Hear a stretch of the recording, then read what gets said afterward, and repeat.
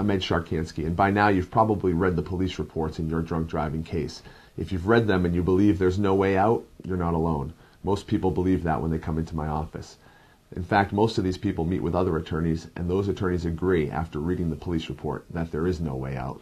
They'll take your money and they'll plea you out. I actually won't tell you what's in your police report. I look for what's not in your police report. I have the experience to know what the judges and the juries are looking for that the police officers don't necessarily tell. For example, if you've refused your breath test or refused to take field sobriety tests, the jury won't know that at your trial. If you have prior convictions, the jury won't know that at your trial either.